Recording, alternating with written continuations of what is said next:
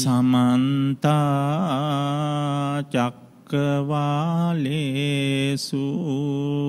අත්‍රාගච්ඡන්තු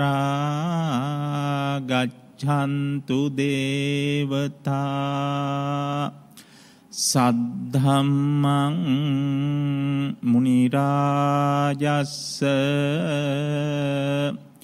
සුනන්තු සග්ගමොක්හදං ධම්මස්සවන කාලු අයං බදන්තා ධම්මස්සවන කාලු අයං බදන්තා ධම්මස්සවන කාලෝ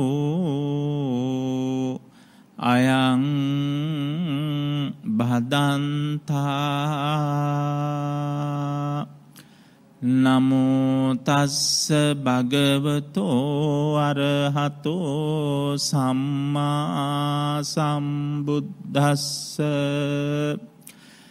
නමුතස්ස භගවතෝ අරහතෝ සම්මා සම්බුද්ධස්ස නමුතස්ස භගවතෝ අරහතෝ සම්මා සම්බුද්ධස්ස යෝසීලවා සීලවන්තේසු දදාතිදානං දම්මේන ලද්දං සුපසන්න චිත්තං අභිසත්දහං කම්ම පලං උලාරං තංවේදානං විපුල පලන්තිබ්‍රෝමීති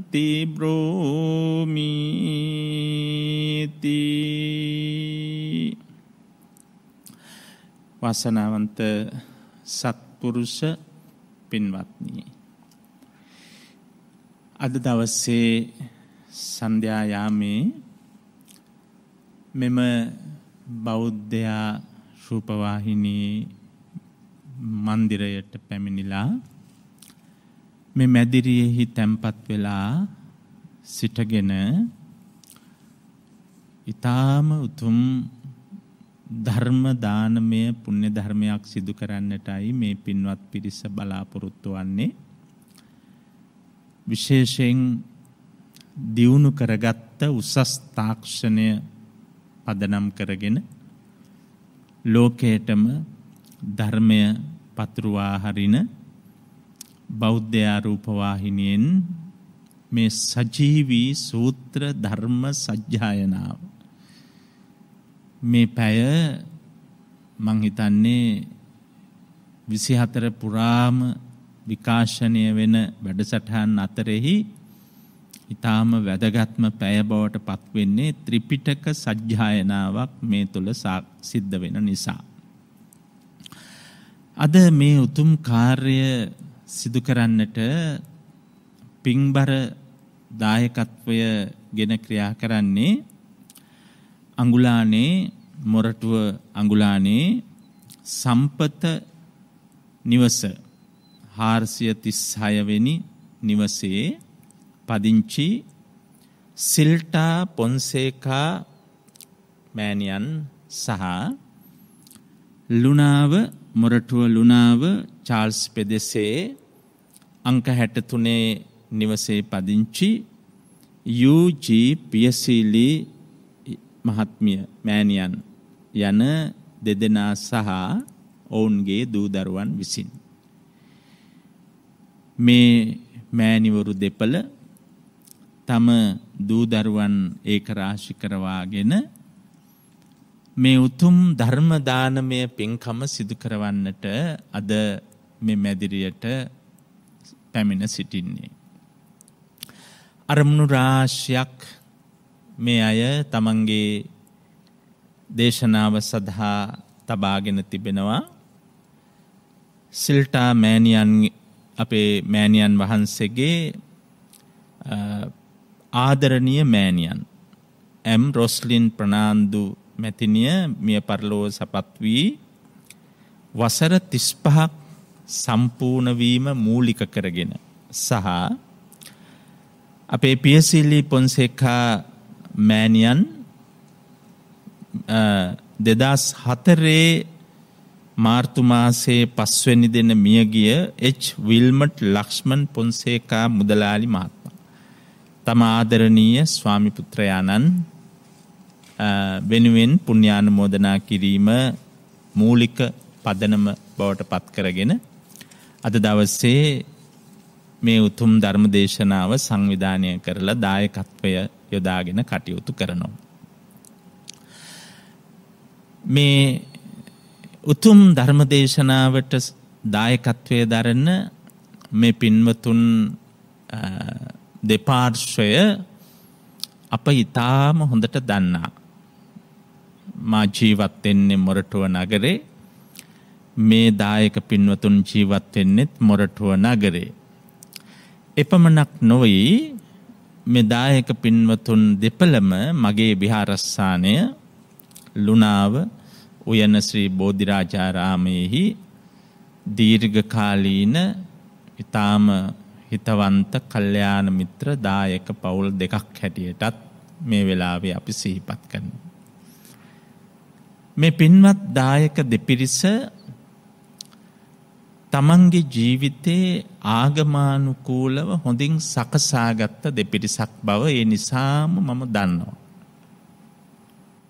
ජීවිතය ජයගෙන තියෙන්නේ ධර්මයෙන්. කිසි විටකත් තමන්ගේ ජීවිතය මොනමාකාරයකින් හෝ දුසිරිතකට වැරැද්දකට අයුක්තියකට අධර්මයකට නැඹුරු වෙන්නට වටපිටාවක් මේ පවුල් දෙකේ ඇත්තන් කවදාවත් එහෙම නෑ. ඒ නිසා ධර්මානුකූලව දිවි පෙවෙත් ගොඩනගාගෙන ශ්‍රද්ධාව කියන එක ඉතාම හොඳින් දියුණු කරගෙන තම තමන්ගේ ජීවිත මැනවින් පවත්වාගෙන යන පිරිස. ඒ වගේම ශාසනික දියුණුව උදෙසා අපමණ මෙහෙවරක් සිදු කරන පුුණ්‍යවන්ත පිරිසක් හැටියටත් මතක් කරනවා. අපේ පියසිල්ලි පොන්සේකා මැතිනිය දරුවන් අපේ විහාරස්ථානයට අපමණ උදව්ූපකාර වියහියදං අප්‍රමාණ සිද්ධ කල්ල තියෙනවා. ඒ වගේම අපේ මෑණියන්ගේ සිල්ටා මෑණියන්ගේ පවුලේ ඇත්තෝ කපිල මහත්මා විශේෂයෙන් මේ අවස්ථාවට සහභාගි වෙන්න මොරටුවේ ප්‍රකට ව්‍යාපාරික කාන්තාවක් හැටියට කවුරුත් දන්න ලතා ප්‍රනාන්දු නෝනා මහත්මිය අපිට බොහෝසෙයින් උදව්පකාර කරන විහාරස්ථානයට සමීප සම්බන්ධතා ඇති පින්වන්තියක් හැටියට මතක් කරනවා. ඉතිං ඒ පින්වතුන් සිදු කරන මේ සූත්‍ර ධර්ම සජ්්‍යායනා දේශනාවිදි පින්නතුන්ගේම අභිප්‍රාය පරිදි විශේෂයෙන් මා දක්කින විභංග සූත්‍රය ආශ්‍රය කරගෙන මේ වෙලාවේ කරුණු ස්වල්පයක් දේශනා කරන්නේ දානයට නිතරම කැපවෙලා ඉන්න නිරන්තරයෙන්. දැම් මේ පව දෙක අරගෙන බැලුවොත් විශේෂයෙන් අපි සඳහන් කළේ සෙල්ටා මෑණියන්ගේ ආදරණය මෑනියෝ සීපත්. පියසීලී පොන්සේකා මහත්මිය තම ආදරණීය ස්වාමිපුත්‍රයාණන් සීපත්. මේ දෙදෙනා කලකට පෙර මිය ගිහිල්ල තියෙන්නේ මේ අය වෙනුවෙන් වාර්ෂිකවම බොහෝ පින්දහම් කරමින් දානමානාදිය දෙමින් පින් අනුමෝදන් කරන පිරිසක් නිසා. ඒ පිළිබඳව කරුණුකාරණා සාකච්ඡා කෙරෙන මේ සූත්‍රය කාටත් වැදගත්වේ යැයි මම හිතන්නේ.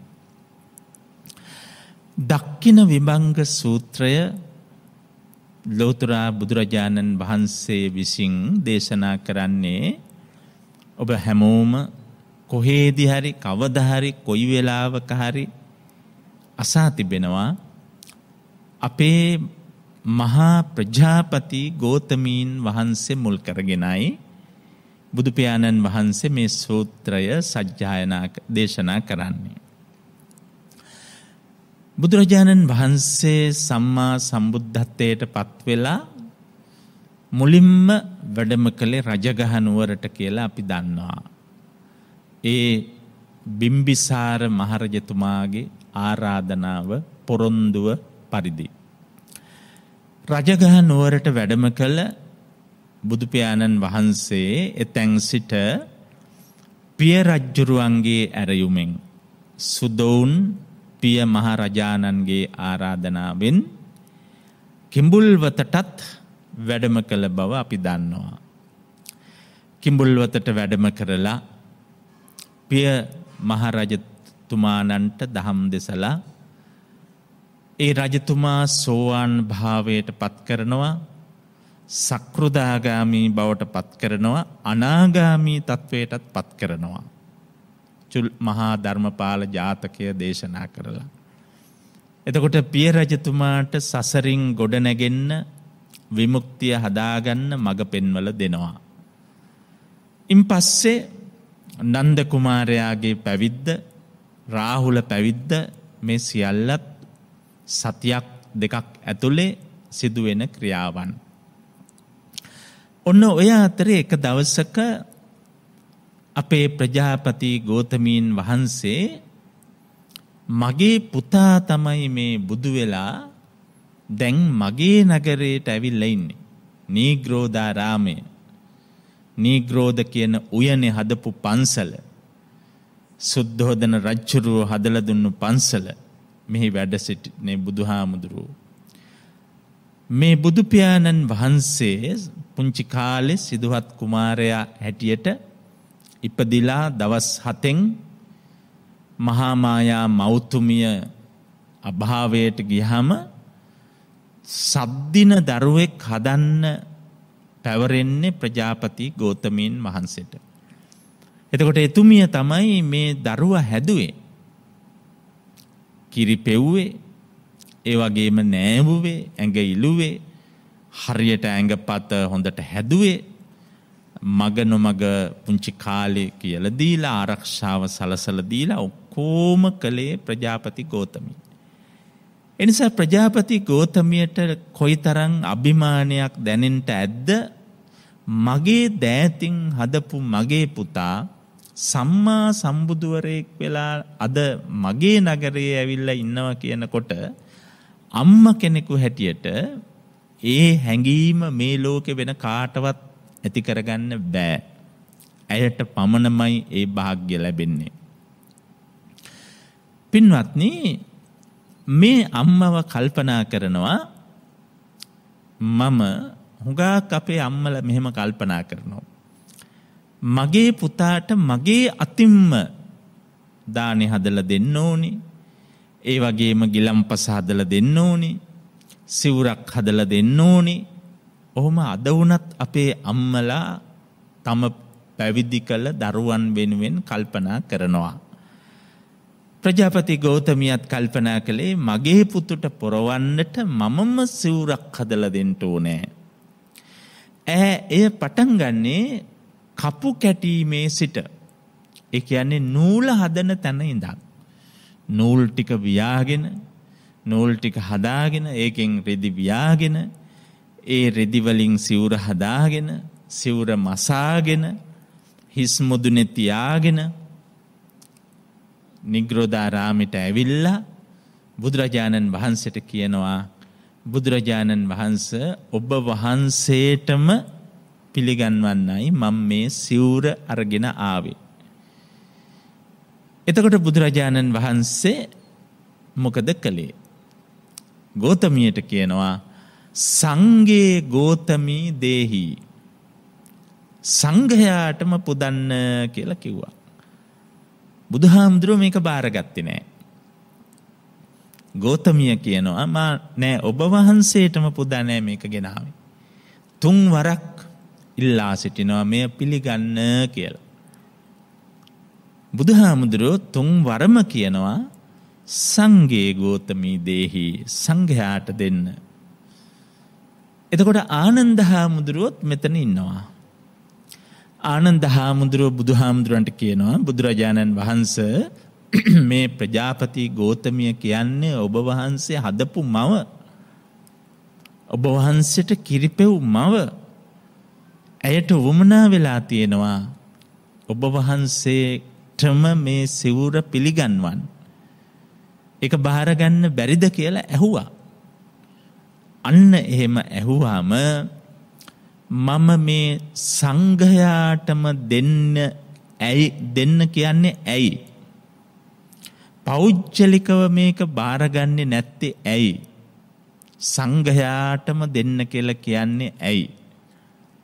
ආන්න ඒ ගැන පැහැදිලි කරමින් කරන ලද සූත්‍ර දේශනාව තමයි දක්කිනා විභංග සූත්‍රය කියලා අපේ ත්‍රිපිටක පාලියට එකතු වෙලා තියෙන්. එතකොට මේ සූත්‍රයේ කාරණා රාශ්‍යයක් අන්තර්ගත වෙලා තිබෙනවා සාංගීකව නැතං සංඝයාට දෙන්නේ කොහොමද සංඝයාට දුන්නහම ඒක වැදගත්කම කුමක්ද ආදී වශයෙන්. ඒ නිසා මම සංශිප්තව කාලවේලාවට ගැලපෙන පරිදි මේ දක්ෂින විභංග සූත්‍රයෙහි අන්තර්ගතය ඔබට ඉතාම කෙටියෙන් පැහැදිලි කරන්නට බලාපොරොත්තු වෙනවා. පළමුුවෙන්ම බුදුරජාණන් වහන්සේ මේ ගෝතමියටත් ආනන්ද හාමුදුරුවන්ටත් දේශනා කරනවා මේ ලෝකයේ ආනිසංස ලබන්න පෞච්චලිකව දානය පුදන්න පුළුවන් ක්‍රම දාහතරක් තියෙනවා කියලා. ආනිසංස ලබන්. පෞද්ජලිකව දානය දෙන්න පුළුවන්. ඒක පළවෙනි ක්‍රමය තමයි පින්වත්න තමන් ආහාර අනුභව කරලා ඒ ආහාර අනුභව කළ බඳුන සෝදා ඉඳුල් වතුර ටික යම්කිසි තැනකට විසි කරන්නේ නම්. ප්‍රාර්ථනාවක් තබා ගත්තොත් මේ වතුරෙහි ඇති සියුම් ඉඳුල් කොටස් මහපොලොවෙහි සුද්‍රජීවීන් කුසගින්නේ සිටින සුද්‍රජීවීන් ඒවා අනුභව කොට කුසගින්නි නිවාගනිත්වා කියලා ප්‍රාර්ථනාවක් කරගෙන ඉඳුල් වතුර ටික විසි කළත් බුදුරජාණන් වහන්සේ කියනවා එතන්න පළවෙනි පෞද්ජලික දානය සිද්ධ වෙනවා ආනිසංස සීයක් ලැබෙනවා. ආනිසංස සීයක්. ඒ කියන්නේ භව සයකට ආනිසංස තියෙනවා කියනවා.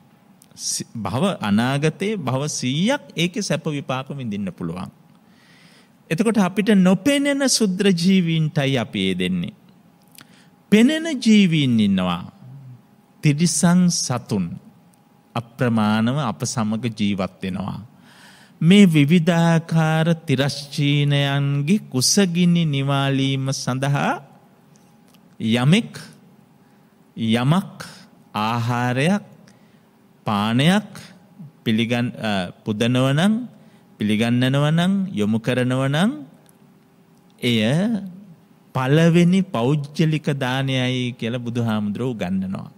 එක තමයි පළවෙනි පෞද්ජලික දානය බව සීයක් සැප විපාක ලබන්න පුළුවන්. තිරිසනෙකුට ආහාර ටිකක් දුන්නාම. ඊළඟට බුදුරජාණන් වහන්සේ දේශනා කරනවා දෙවැනි එක දුස්සීල මනුෂ්‍යයකුට. කිසිම සිල්වත්කමක් නෑ. දුශ්ශීලයි සීලාචාර ගති පැවතුම් කිසිවක් නෑ. හැබැයි මනුෂ්‍යයෙක්. අර තිරිසනෙකුට දුන්නට වඩා මනුෂ්‍යයෙක් ඒ දුශ්ශීලයි ඒ දුශ්ශීල මනුෂ්‍යයාට යමක් දානසිතුවිල්ලකින් ප්‍රධානය කළොත් එය දෙවෙනි පෞද්ජලික දානයයි එයින් ආනිසංස දාහක් ලබන්න පුළුවන් කෙලෝ ගන්නනු. දාහක් බව අනාගතය බව දාහක් යනකං සැප විපාක ලබන්න පුළුවන් විවිධාකාරයෙන්. ඊළඟට තුන්වෙනි පෞද්ජලික දානය තමයි සිල්වත් පන්සිල් හෝ වෙනත් මොනෝහරි සීලයක් රකින මිනි මනුෂ්‍යයකුට. එවැනි කෙනෙකුට දානයක් දුන්නොත් ආහාර ටිකක් ප්‍රධානය කළොත් එහි ආනිසංස ලක්ෂයක් බව ලක්ෂයක් දක්වා සැප විපාක ලබන්න හේතු වෙනවා කියලවා.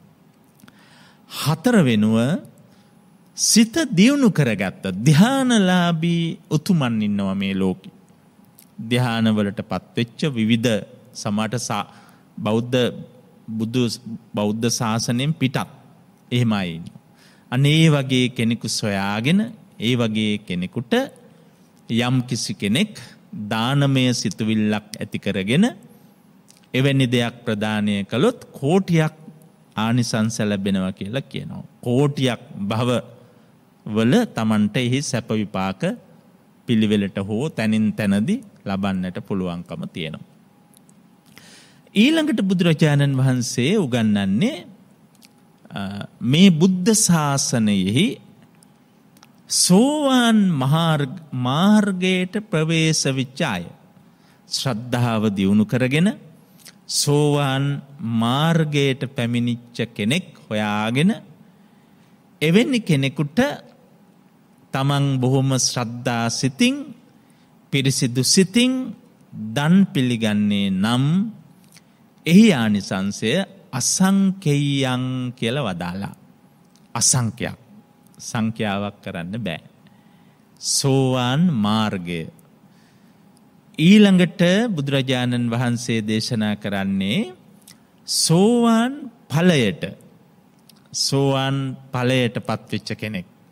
මාර්ග පලලාබී කෙනෙකුට යම් කිසි කෙනෙක් යම් කිසි ආහාරපානයක් වෙන කවරක් හෝ පූජා කරන්නේ නම් එහි ආනිසංස අසංකෙයියන් අප්ප මෙයන්. ඒ කියන්නේ අසංකෙයියන් අප්ප මෙයන් කියන්නේ අසංක්‍ය සංඛ්‍යාවක් නෑ අප්ප මෙයන් කියන්නේ ප්‍රමාණයක් කරන්න බෑ ඒ තරං දිග කාලයක් සංසාරි තමන්ට සැප විපාක ලබන්නට පුළුවන්කම ලැබෙනවා කියලා කියනවා. ඊළඟට සක්ෘදාගාමී මාර්ගයට පිළිපන් පුද්ගලයා. සක්ෘදාගාමී පලයට පැමිණි පුද්ගලයා. මේ දෙදෙනත් දානාර්හ පුද්ගලයෝ. දන් දෙන්න පුළුවන් අය. එවැනි අයට දන්දුන් නමත් අසංකෙයන් අපපමෙයන් වදාමී කියලකිව්වා. ඊළඟට අනාගාමී මාර්ගයට පත්වුණු පුද්ගලයට දන්දුන්නහම අසංකෙයන් අපපමෙයන් වදාමි කියල කිව්වා. අනාගාමී පලයට පත්වෙච්ච කෙනෙකුට දෙන දානයත් ඒ විදියටම ආනිසංසයි කියල කිව්වා. ඊළඟට පින්වත්නි ඔබට පැහැදිලි රහත් මාර්ගයට පෙවිසුණු කෙනාට දෙන දානය සහ රහත් මගට පිළිපන් රහත් බවට පිළිපන් රහත් මගට පිළිපන් කෙනාට දෙන දානය සහ රහත් බවට පත්වෙච්ච කෙනෙකුට දෙන දානය. දැන් අපි අර රතන සූත්‍රයේදී සාකච්ඡා කරන්නේ ඒ පුද්ගලා අට්ට සතං පසත්තා. චත්තාරි ඒතානි යුගානි හොන්තී කියලකිවේ අන්න ඔතන.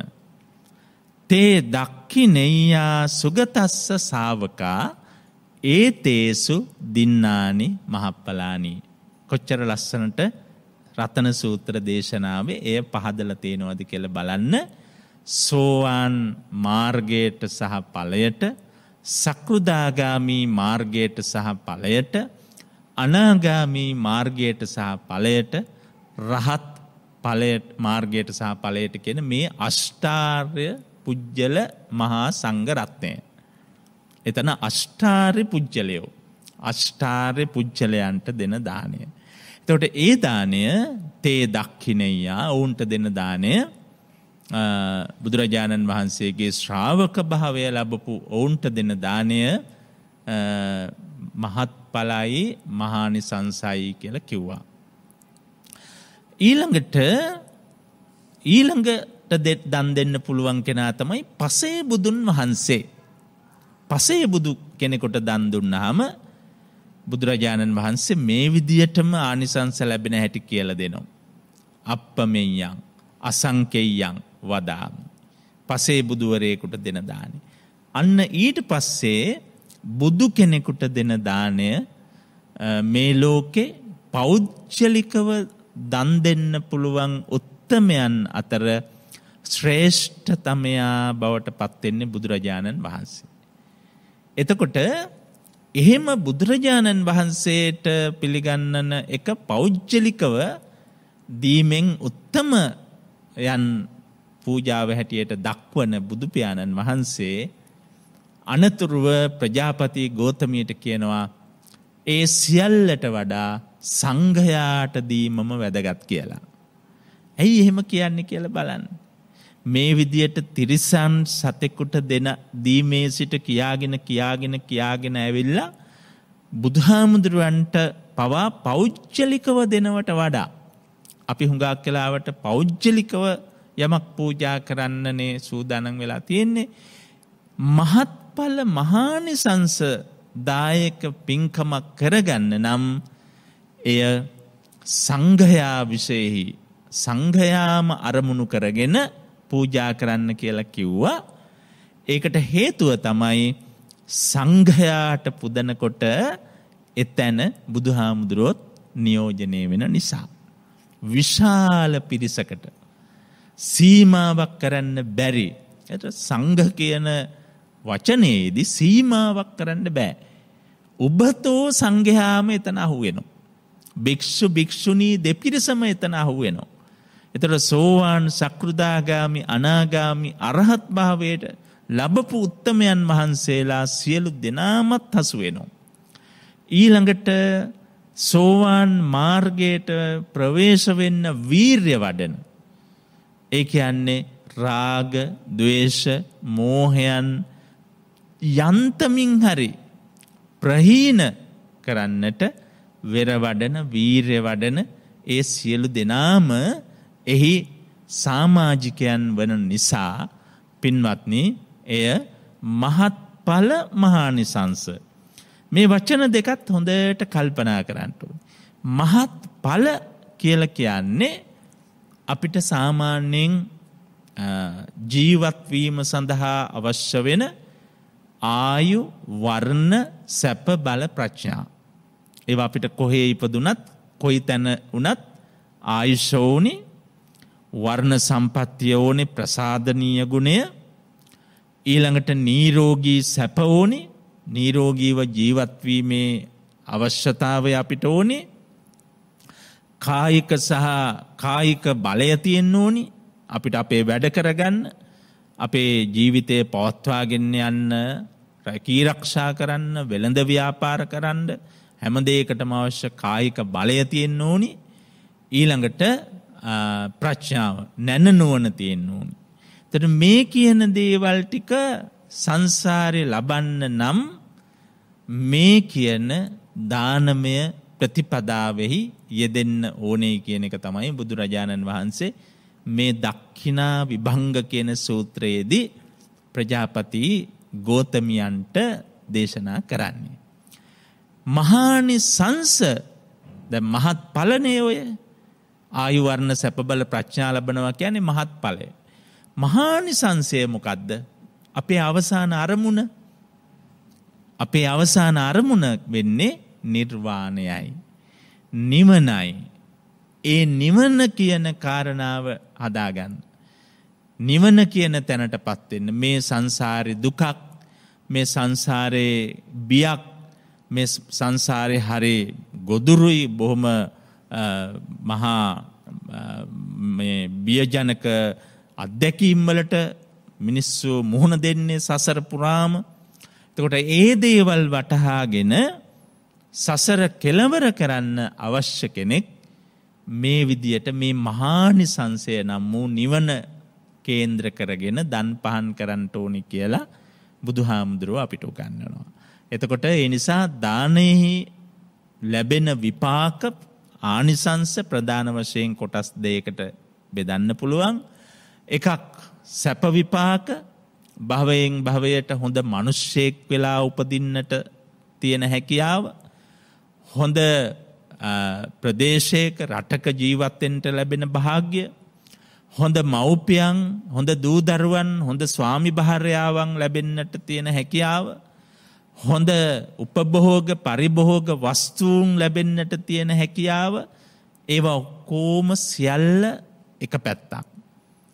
ඒ සියල්ල ලබාගෙන ඒවා නැවත නැවත දානයෙහි යොදෝමින් අත්හැරීම කියන අපිට උගන්නනවනේ කාරණා තුනක් පළවෙනි එක ආශ්වාද හැමෝම දන්නවා අපි මේ හැම දෙයකින්ම ආස්වාද ලබනවා. තමන්ට ලැබිච්ච සම්පත්වලින් තමන්ට ලැබිච්ච දරුවන්ගෙන් යාළුමිත්‍රයන්ගෙන් ස්වාමි භාර්යාවන්ගෙන් යම් කිසි ආස්වාදයක් ලබනෝ තෘප්තිමත් බවක් ලබනෝ සතුටක් ලබනවා. එහෙම ලබනකොට ටික දවස්සකින් කාලයක් යනකොට ආදීනව වැටහෙනෝ. ඒ ඇන්නේ මේවා බරක් වගේ තේරෙනවා මේවා අල්ලාගෙන ඉන්නකොට එක වේදනාවක් දැනෙනවා එහෙම දැනෙනකොට ඔන්න නිස්සරණ නිස්සරණ කියන්නේ මේවා හැරදමා යායුතුය මේවායෙන් වෙන්විය යුතුය නිවන් මග හොයාගත යුතුය ආදී වශයෙන් තමන්ට හැඟීමක් පහළ වෙනවා. අදහසක් ගොඩ නැගෙනවා. ආන්න එහෙම අදහසක් ගොඩ නැගෙන්න ඌමනා වෙන්නේ මේ දක්කින විභංග සූත්‍රයෙහි උගන්නන දානානි සංසයි. දානය පුුණ්‍යවන්ත දානයක් වෙන්න. මහත්ඵල මහානිසංස වෙන්න කාරණා කිහිපයක්ම හේතු වෙනවා. දක්කින විභංග සූත්‍රයෙහි අවසානයෙහි එන ගාථහපාටය තමයි මා ඔබට කියල දුන්නේ ඒ දානයක් උසස් භාවයට පත්වෙන් නැත්තම් මේ මහත්ඵල මහානිසංසදායක වීම සඳහා හේතුවෙන කාරණා ටිකක් බුදු හාමුදුරුව අන්තිමට කියනවා සූත්‍රයේ. යෝ සීලවා සීලවන්තේසු දදාතිදානං. යමෙක් සීලවා තමන් ඉස්සෙල්ල සිල්වත් භාවයට පත්වෙන්න ඕනි. තමන් සීලවන්ත සීලාචාර ශිෂ්ට සම්පන්න භාවයට පත්වෙන්න ඕනි. මොකද තමන් සිල්වත් නොවී දානයක් දෙනකොට එතැන අර දානයක් මහත්ඵල මහානිසංසවීමට අවශ්‍ය ප්‍රධාන කාරණයක් සම්පූර්ණවෙන් නෑ. එනිසා තමන් සිල්වත් භාවයට පත්වෙලා සීලවන්තේ සුදදාතිදානං ඊටත් වඩා සිල්වත් වූ පිරිසක් වෙනුවෙන් දානය පුදන්න පිළිගන්වන්නට කල්පනා කළ යුතු වෙනවා. එතකොට මහත්ඵල මහානිසංසදායක කියන තත්ත්වය ඇතිකරගන්න නම් ඒ කාරණා දෙක සපුරාගන්න කියල බුදු හාමුදුරුවෝ දේශනා කරනවා. තමන් සිල්වත් වෙලා තමන්ට වඩා උතුම් සිල්වතුන් හොයාගෙන දන් දෙන්න කියලා කියනවා. දැන් එතකොට අපේ බුදු දහම උගන්නනවා දන් දෙන්න පුළුවන් ප්‍රධාන ක්‍රම දෙකක්. එකක් තමයි අනුග්‍රහ බුද්ධියෙන් දෙන දානය දෙවනි එක පූජා බුද්ධියෙන් දෙන දානය. අනුග්‍රහ බුද්ධියෙන් දෙනවා කියල කියන්නේ අනුග්‍රහය පිණිස වැඩිහිටි නිවාසයකට ගිහිල්ල ළමා නිවාසයකට ගිහිල්ල පාර යන හිඟන්නෙකුට පුලන්නෙකුට වගේ කෙනෙකුට ඒව අපි අනිවාර්යෙන්ම කළ යුතු දේවල්. අනුග්‍රහ පිණිස කරන දේවල්. ඊළඟට පූජා බුද්ධියෙන් දානය දෙන්න නම් අර සිල්වත් ගුණවත් උතුමන් වහන්සේලාම සොයාගන්නට ඕනෑ. ආන්න එතකොට දානයක් මහත්ඵල මහානිසංසවීමට අවශ්‍ය වෙන ප්‍රධාන කාරණා දෙකක් සම්පූර්ණ වෙනවා. තමන් සිල්වත් වී ඊටත් වඩා උතුම් ප්‍රතිග්‍රාහකයන් වහන්සේලා සොයාගෙන දන් දෙන කොට. ඊළඟට තුන්ගෙන එක ධම්මේන ලද්දං. දානයකට යොදන්න ඕනේ මුද්දල හරි වියදම හරි දානවස්තුව හරි ඒවා දැහැමිව උපයා සපයා ගත්ත දේවල් වෙන්න ඕන කියල තමයි මහත්ඵල මහානිසංස වෙන්න නං දැහැමිව උපයා සපයා ගත්ත දේවල් වෙන්න ඕනේ. කාටවත් රිදවන්නේ නැතුව කාගේවත් දේවල් කඩා වඩාගන්නේ නැතුව පැහැරගන්නේ නැතුව හොරකං කරන්නේ නැතුව තමන්ගේම වෙහෙස තමන්ගේම දහඩිය මහන්සිය ඒ දේවල් කැප කරලා නිවැරදිව උපයා සපයා ගන්නා දේ තමයි දන්නට පින්නට යොදන්න කියලා මේ දක්කින විභංග සූත්‍රයේදී අපේ බුදුහාමුදුරුවෝ එදා ප්‍රජාපති ගෝතමීන් වහන්සේට උගන්නන්නේ. ඒ නිසා ඕනෑම වෙලාවක දැහැමියෝ වෙලා දන් දෙනකොට එතන ඒ දැහැමියන් උපයන දේත් දැහැමී. දැහැමියෝ කියන්නේ වැරදි කරන අය නොවෙයි. ධාර්මිකව ජීවිකාව කරන අය. ඒ අය විසින් පුදන දේත් ඉබේම දැහැමි වෙනවා. හතර වෙනුව සුප්පසන්න චිත්තං. ප්‍රසන්න වූ සිතින් දෙන්න කියලා කියනවා. මේක තමයි ගොඩාක්ම අමාරුදේ. සිත ප්‍රසන්න භාවයට පත්කර ගැනීම. සිත ප්‍රසන්න භාවයට පත්කර ගන්නවා කියන්නේ අපේ අර පැරැන්නොත් කිව්වා තුන්සිත පහදා දුන්නොත් දානය උන්ගිය ගිය තැන ලැබෙයි නිධානය කියල කිව්වා. තුන්සිත පහදාගෙන දෙන්න කියල කිව්වා. එකයි සුපසන්න චිත්තං. තුන්සිත කියල කියන්නේ මොකක්ද යමක් දානය උදෙසා යොදනකොට එහි මුල්ම අවස්ථාව මම මෙය දං දිය යුතුය පරිත්‍යාග කළ යුතුය කියන මුල්ම චේතනාව. ඒ පළවෙනි පූර්ව අවස්ථාව. ඊළඟට දානය දෙන අවස්ථාව. පුදන අවස්ථාව.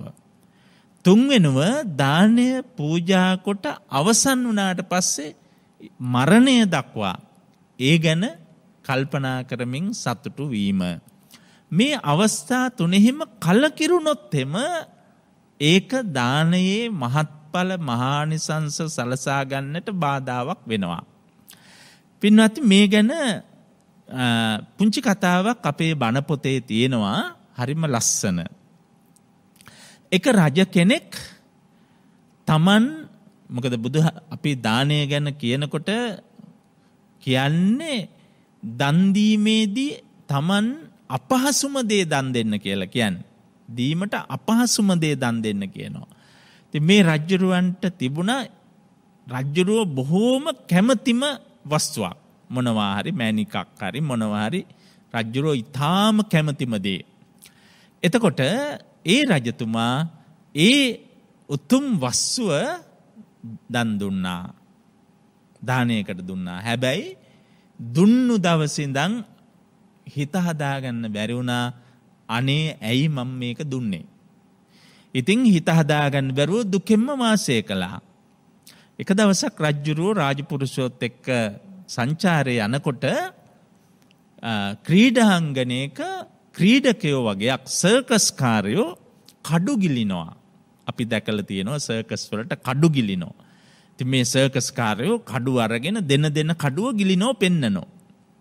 රජ්ජුරුවන්ට මේක පුද්දුමයි බලාගෙන ඉඳලා රජමැතුරට ඇවිල්ලා ඇමතිවරු ගෙන්නලා රාජපුරුෂයන්ගෙන් අහනවා රාජපුරුෂයනි අර සර්කස්කාරයෝ කඩුගිලෙනව දැක්ක නේද.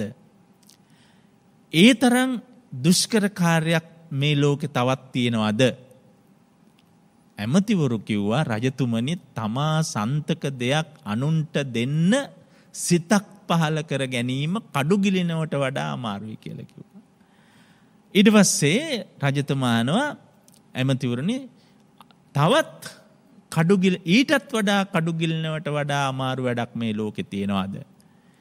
අර රාජපුරුෂෝ කියනවා රජතුමනි තමා සන්තක දෙයක් අනුන්ට දීම කඩුගිලිනවට වඩා අමාරුයි කියලකිව්වා.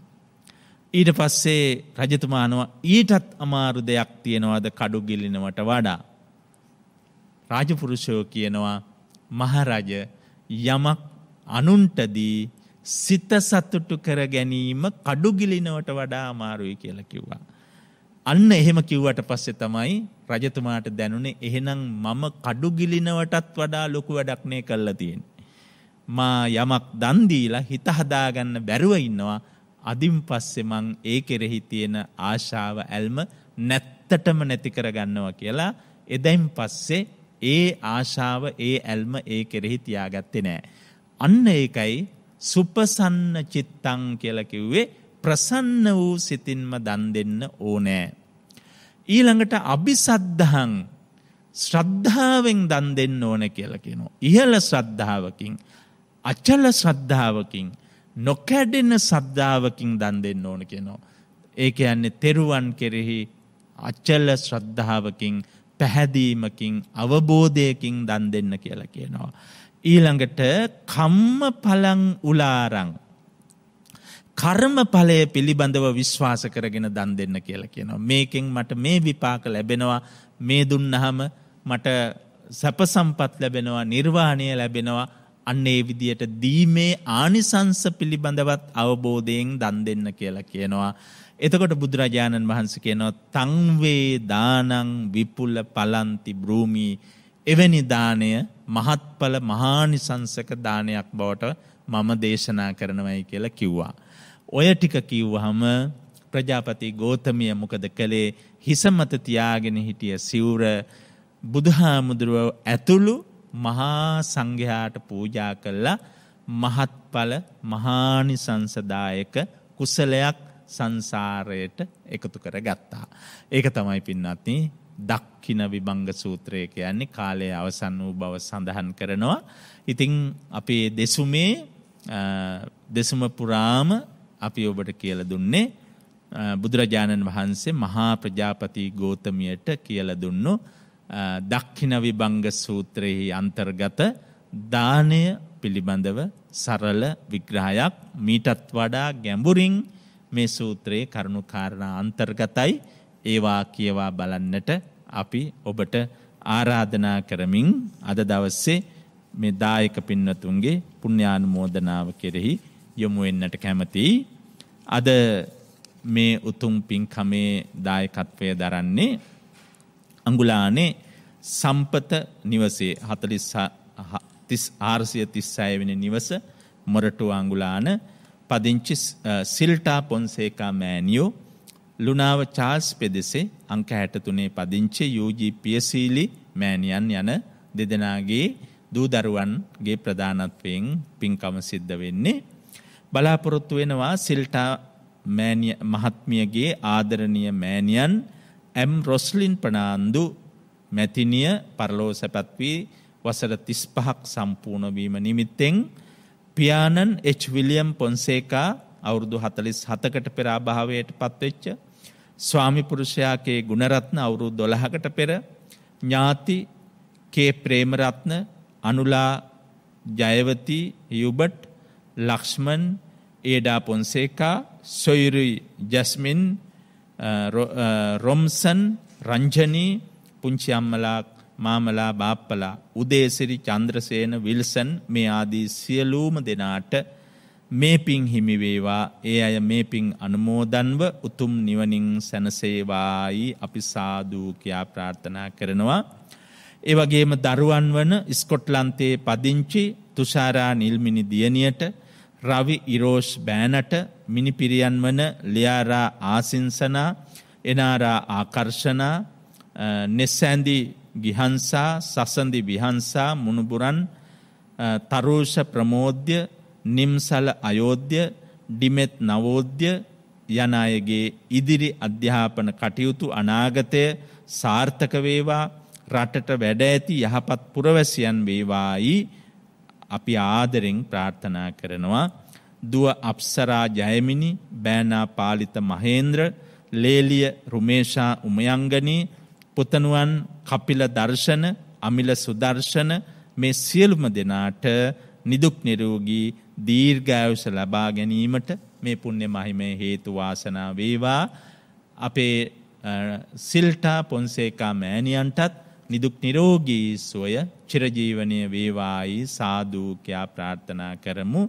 යුජපියසීලි මෑණියන්ගේ ආදරණීය මිය පරලෝ සැපත් වූ MH විල්මට් ලක්ෂ්මන් පොන්සේකා මුදලාලි මහත්මානන්ටත් දෙදස් දහනමේ එකොළහයි විසි අටවන දින ක්‍රියාන්විතයේදී මියගිය පොලිස් සැරයෙන් යෝජී පුෂ්පගාමිණී සහෝදරයානන්ටත් අනන්ත සසර පටන් මේ දක්වා පින් බලාපොරොත්තුවෙන් සිටින දෙමවපියන් ඇතුළු පින් කැමති සියලූම දෙනාටත් මේ පින් හිමිවේවා ඒ අය මේ පින් අනුමෝදන්ව නිවනින් සැනසේවා.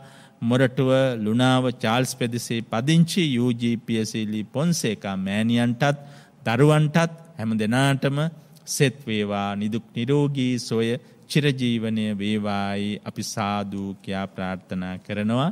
මැදිරියට පැමිණි මේ පවුල් දෙකේ පින්වත් හැම දෙනාටමත් අපේ ලතා ප්‍රනාන්දු මැතිනිය ඒ වගේම නිමල් ප්‍රනාන්දු මහත්මා නවසීලන්තයේ සිටින දරුවන් ඒ හැම දෙනාටමත් කපිල මහත්මා ඇතුළු මේ හැම දෙනාටමත් නිවෙස්වලට වී ධර්මශ්‍රණය කළ සියලුම දෙනාටත් මේ උදාරපුුණ්‍ය පලය ප්‍රාර්ථනීය බෝධියකින් නිවී සැනසෙන්නට හේතුවාසනාවේවා.